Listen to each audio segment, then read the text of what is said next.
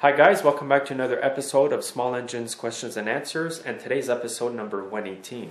And as usual, before I start, I want to welcome all my new subscribers and I also want to thank all you guys who sent me some monetary donations. I really appreciate that. And also I want to thank all my viewers who nominated me in the YouTube's channels on the rise. So a big thanks goes out to all of you for that. Now you guys know that this is the wood stove I use to heat my shop right now until I get a gas heater installed in my shop. Some people are asking me questions about the wood stove and particularly do you have a blower on your stove to blow the hot air? Well the answer to that is yes. The blower is located right at the back of the stove. You can see the switch right here. I've got it off right now so that it's not as noisy but I'll turn it on. This is a variable speed fan so right now it's the fastest. You can lower it if you want. And what this does is it blows the hot air through this crack over here and you can actually feel the air coming out quite a bit. It heats up the shop twice as fast as without having the blower installed. And here's the model number of it. This is the more quiet blowers that's available for this stove you can buy a different blower. It may be louder and I'm not sure if it's variable speed or not. So as you can see it's a wide fan. It's not that big, it's rectangular. It screws onto the stove. This blower here was actually made for this specific stove. It does fit on other models of this brand of stove.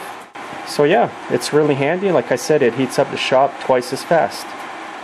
It was 150 bucks for that blower plus tax, but it's definitely worth it. So if you want to heat up your shop fast, just put a blower on your wood stove. Also make sure that everything you do is up to local codes because your insurance may not cover you if something happens. Somebody had also mentioned about putting a magic heat on the pipe here of the stove. Well, my insurance would not cover me if I did that, and the manufacturer of the stove recommends not doctoring anything on the wood stove or the pipe because it could affect the performance of the stove. So that's why I left it the way it is. In my next question today, a YouTuber asked me why does my lawnmower have a slight vibration? Well, the most common problem to this could be an unbalanced cutting blade. Make sure that the blade is sharp and make sure that it's balanced as well. If it's really damaged, then just get a new blade and that should get rid of the vibration in your lawnmower. And by the way, we've got some snow falling today. It looks nice out there. Anyways, my next question today is in regards to a 5 horsepower Briggs & Stratton engine, specifically the horizontal motors. Now somebody's asking me if they can add a second shaft to their engine. Before I continue with the answer, I just want to show you a Tecumseh engine here and it's got two shafts. So probably this is what he wants to do is add another shaft to add another pulley. Well, the answer to his question is yes, you can add another shaft. What you need to do though is get a different sump cover. You need to get a camshaft for the same motor, but a longer camshaft, which would protrude out of the sump cover. And then you could add your pulley to it and a pulley on this one too if you want.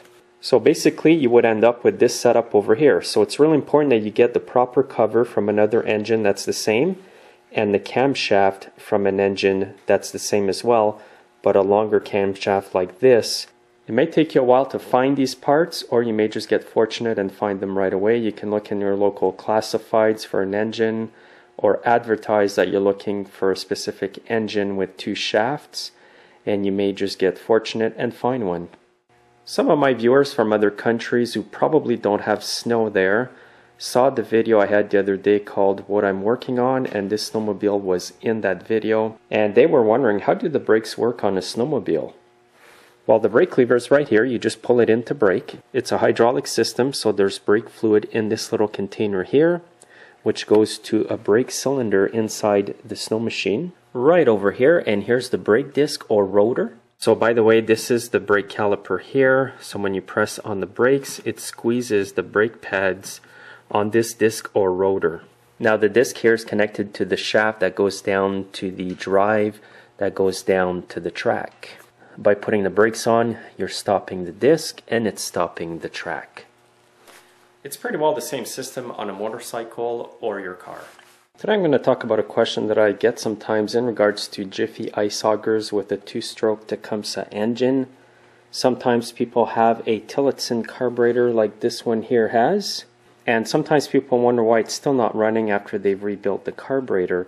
Well, sometimes what happens is this plastic part over here, as you can see, is warped. And it's Tecumseh part 640-255, and that part is still available. So all you have to do is replace this part. Usually it's under 10 bucks, and oftentimes that's your problem. I've seen them leak before. I did a leak down test on the carb one time, and it was just bubbling over here. So it was no wonder why the thing wasn't running properly. And to replace it, all you have to do is remove the four Torx screws. Some will just have a slotted screw. Then you want to take out the idle screw over here and put it in on the new part. And that's it.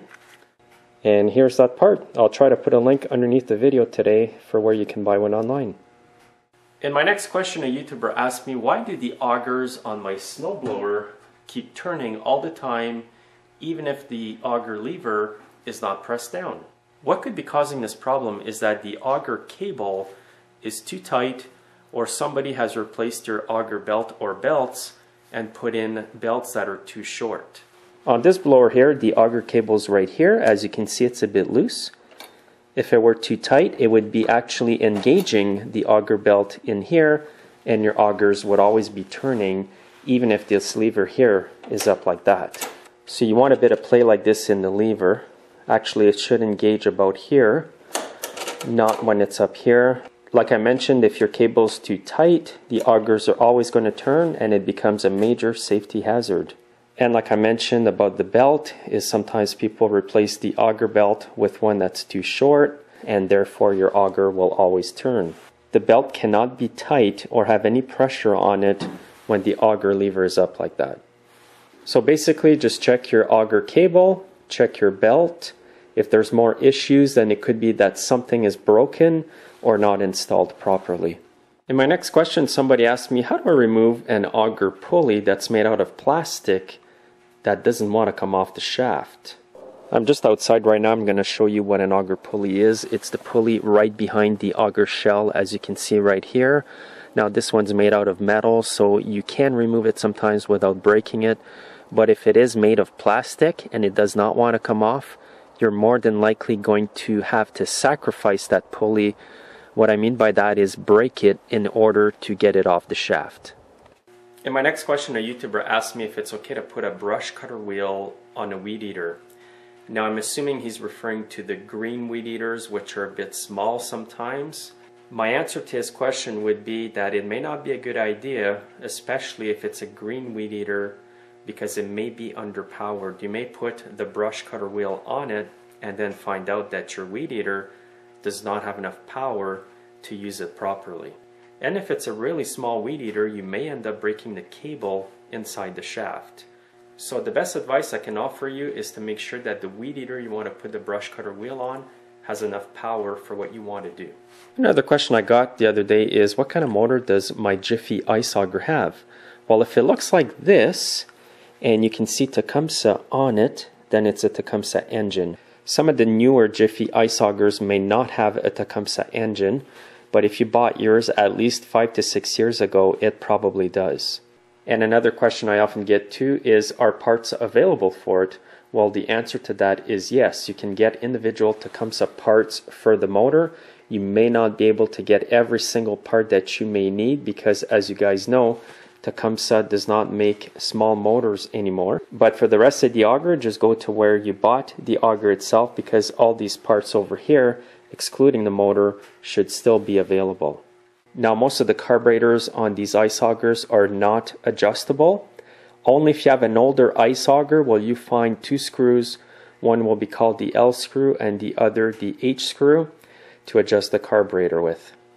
So that'll be the end of this episode today. Thanks for taking the time today to come and watch my episode. Hopefully, you learned something from today's show as well. Have yourselves a great weekend, and I'll see you in two weeks.